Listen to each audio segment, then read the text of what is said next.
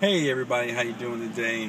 Ron Majette here. This is day 63 out of 90 straight videos I'm putting up for you. And it's Saturday, and to be honest with you, I've had a great weekend. Earlier this morning, my lady and I, we took my car out to get some maintenance done, and we just came back from the park having, you know, a cookout with some friends. People that I met last week for the very first time in the rock race, the ROC race. If you haven't seen that video, definitely check it out. But today's video I would like to be about is understanding I know a lot of you who are watching this right now, maybe starting off in internet marketing, maybe trying to start a new business in yourself.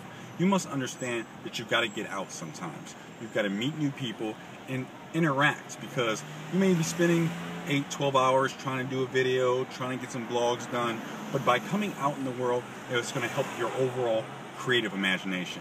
You may have a conversation with someone who's in a business completely different than yours, but then it will actually give you a form of understanding that, hey, this may work in my business, but you would never know that if you were staying in the house. You would never know that if you weren't willing to meet people that you've never met before, has totally different interests than you, and aren't doing the same endeavor whatsoever. So what I want you to understand today is get out on the weekends. Get out, spend some time, meet new people in different circles, and it will help your overall creative imagination.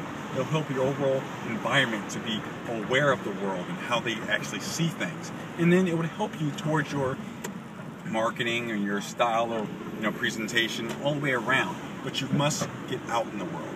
And so I just want to get the point across, hey, go out, meet new people, interact with individuals that may not be like you, may not actually have the same direction in their life as you. But by doing that, by surrounding and making your circle that much bigger, it's going to make you that much stronger in your overall core foundation.